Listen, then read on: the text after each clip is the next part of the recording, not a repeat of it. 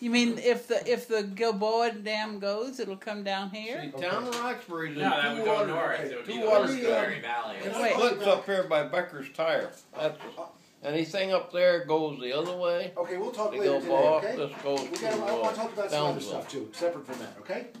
Bye. This one goes to. So where is the hill that it wouldn't it wouldn't be? This if- mountain splits it. Yeah, I- Irish. The way the water comes down, it'll go off that side or down this side. Uh huh. Wow. Yep. Phew. It was terrible. Yeah, after the ice age, there was a glacial lake, and it went all the way up pretty much to Middleburg. It went to Hunter and almost to Wyndham. And the outlet of the giant glacial lake is called the Grand Gorge Glacial Lake, flowed through this valley, and that's what cut. And there was like an ice and sand and rock dam right here, like where Vestie's trailer is. So all that water, when that lake was draining out, flowed through here, and that's what created this valley. That's why the only eskers in the Catskills are like in Roxbury. Usually they're common in the Adirondacks, but you don't. The only eskers. What are eskers? It's a glacial. It's like kind of like a hummock that's left behind by the glacial outwash. But it's also why Toby's Field, when you pick up rocks, no two rocks are the same because some of them are from Schenectady or Saratoga, or you know they all got all this stuff got pulled down by the glaciers, and then when the glaci- glaciers melted, it was a huge lake, and it just flowed and just washed all the sand and rock into this valley and formed the East Branch. You know, it was a big So notch up. Montgomery Hollow. You ever been up in there? No, I haven't. And that's where that broke water broke through. So my t- science teacher told me, Yeah. because I went to school in Grand Gorge, see, Uh huh. and that's Yeah, that was the bottom of the lake right there. and When up drive there you'll 30, find, uh, if you look, you'll find shells. Mhm. Yeah. You know, Huh. You know, uh, when when I drove through the the Schoharie Valley, they it looked like one of the fields, the farms got had these big bro- rocks all over their field. Oh, up by Vroman's Nose. Yeah, so it, Yeah, that's a huge floodplain. Yeah. Um, all those orchards, I think, got damaged, and there's a lot of um, a lot of cornfields and stuff. But yeah, a lot of the Don't you think it's weird that the dam doesn't hammered. have a generator? Like, how could they just run out of electricity? yeah. Well, I guess they wouldn't work for some reason. They didn't have electricity. You know, I don't know what. You'll probably be hearing a lot of stuff about it before it's over with. Yeah. But they do open it from time to time. That they do controlled. Well, yeah, because that's how they make the power. They pump it up to the top of the mountain, and then at night when they really need it, they let it out, and it turns them big turbines. Yeah, the power authority. Makes yeah. electric. It's the pump storage. So, so, wh- so, ha- people here feel like a lot of like down by Phoenicia, everybody's blaming the E DEP. Yeah, and the same thing along the Delaware on the down by like uh, uh, Fisher's Eddy and East Branch and stuff like that. They blame the city because they have flooding. You know, not like huge, monstrous floods, but they have minor flooding that really messes up a lot of houses every year. Wow. And same on the Esopus because they draw down to control the reservoir or to, you know, because they want to control the levels of the Schoharie and the, it goes through the Esopus and then the Ashokan. But the people along the Esopus have flooding problems almost every spring. And yeah, there's a ton of resentment towards the But city. Phoenicia never had those kind of floods before. Well, they're right on the Esopus, so there's people people low down in the Phoenicia area were, you know, part of the problem. Or See, Ma- Maple Crest was an earthen dam. Mm. and that was put in there by the Army Corps of Engineers. Yeah. And once you know an earthen dam, once you break a hole through, you know, it just keeps Yeah. getting bigger and bigger, so the whole thing. will- Now, where was Maple Crest? You go up to Wyndham, and it's off to the left, back of Wyndham. Uh huh. And that broke through in the Yeah. flood. Now, I have a friend that lived up there, and his wife, he come out of the house to get his cell phone, went to his truck, and he turned around, his house was going. Mm. That's how Yeah. quick that happened. And she was in the house. She drowned, lost her. No. In Wyndham? Well, yeah, Maple Crest. Because I thought I thought the only person who died was the woman in Fleischmanns. No, Um, I know this lady. She was a friend of mine. Wow. Yeah, Wyndham She's really dead. got hit as bad, almost as bad as Prattsville. Just a Oh. little further upstream. So, so what's going to happen? I mean, now you've got the Homeland Security people in here, and Everything. Who knows? Nobody's seeing much money. Like Prattsville, there's no money coming in the area. But I understand they got a lot of problems over there. Things with, you know, their supervisor got voted out, and then the new guy couldn't take it. He got sick, got elected. Oh, really? yeah, that's a mess. But there's no the the whole town's upside down. Oh yeah. Yeah, almost every there's like five or six buildings that aren't condemned in Prattsville. Yeah, It's like They've one lost the other. sixty percent of their tax base. They told me. sixty percent. Oh my God.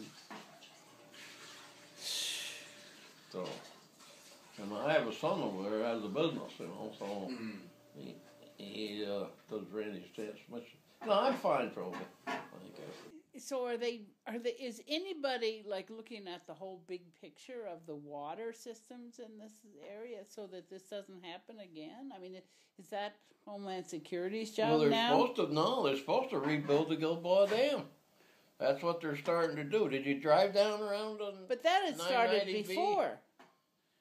They were talking about the Gilboa Dam. Yeah, right? oh it like yeah, five we or six but this flood came right in the middle of what they're doing over there.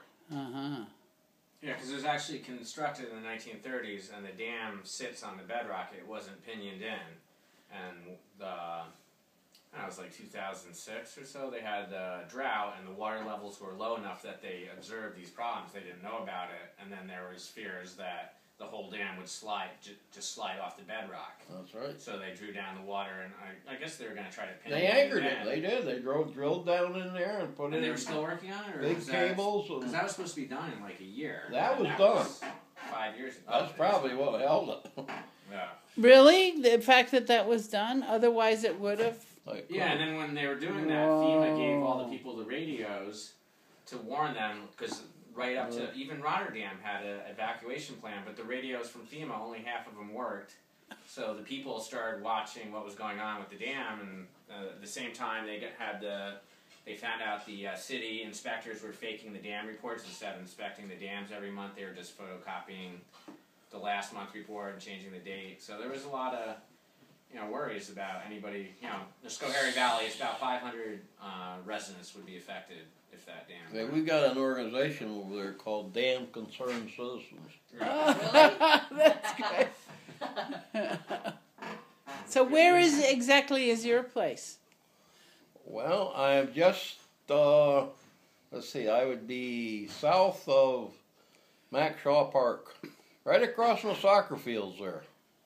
Uh-huh. They're on the right, uh, going towards Middleburg. So right near the pump storage, the power authority. Yeah. Ah, so it's really close to the dam. But you're above it.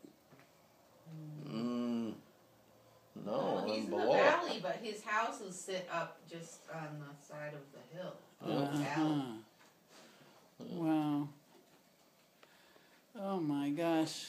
Well, so wait, so the if the dam control people were responsible for the flooding over there, what does Well, that mean? Schoharie County, you know, they're going to sue the power. They're gonna Authority. be sued.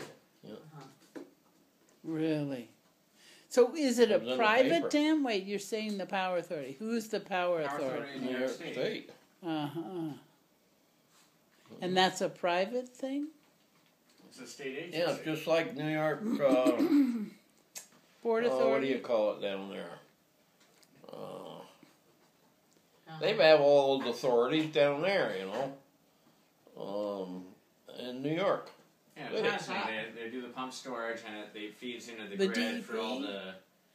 No, it's a state agency, Uh-huh. and they they, I think they might run the power pool, which coordinates all the power, you know, going from Canada to New York City and all to the grid.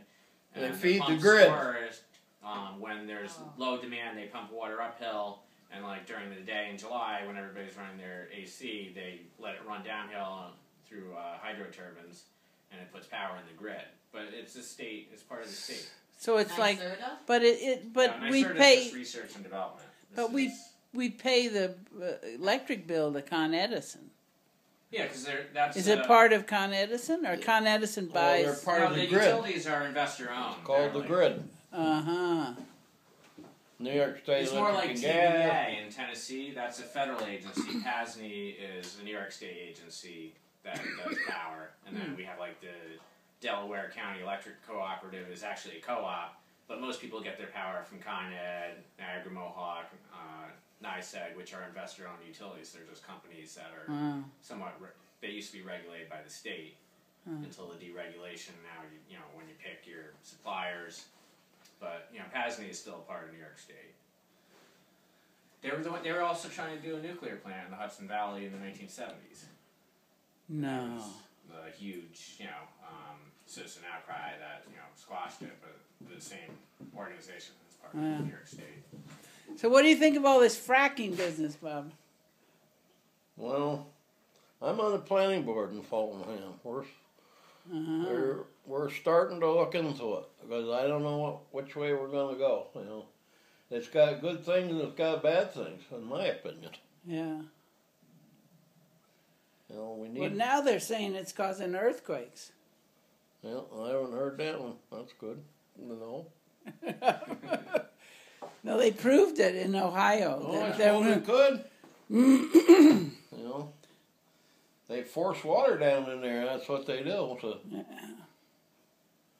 know, we just started. Just come up the other night that we're going to start looking into it. I don't know which way we're going. Phew. Well, thank you very much. A lot much. of major stuff going on out there.